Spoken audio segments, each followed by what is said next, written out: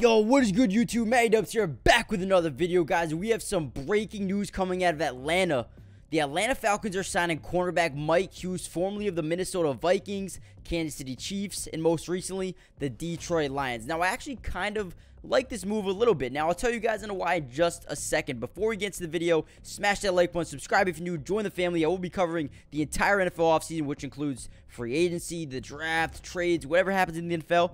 I will keep you guys notified here, so make sure you guys join the family. Now, Mike Hughes is a form or a former first round pick of the Vikings back in 2018. He's still only 26 years old and has a ton of potential as a playmaker, as just a solid overall DB. Now, I don't know if he's going to be able to come over here and, you know, be a day one starter. I do like AJ Terrell. I do like Casey Hayward and Dee Alford a little bit.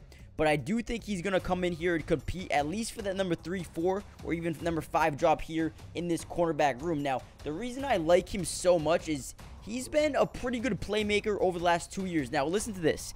In the, over his career, over his five-year career, he has seven forced fumbles, and um, he also has three interceptions, but in total, 178 tackles, and 142 of those are solo tackles. So he's a cornerback that can come over here. He's a solid tackler, uh, solid special teamer. He's versatile. He can force fumbles. Listen, I like this signing a lot. Like I said, I think the Falcons are getting really good here. You got Jessie Bates, Richie Grant, Casey Hayward, AJ Terrell, Dee Alford, and now Mike Hughes. You also brought in Kaden Elliss from uh, the Saints. You got Mykal Walker, Troy Anderson, Lorenzo Carter, David Onyemata. Don't forget about him from the Saints. Grady Jarrett. I mean, this defense is getting scary, guys. Hit that like button. Subscribe if you're new. Join the family.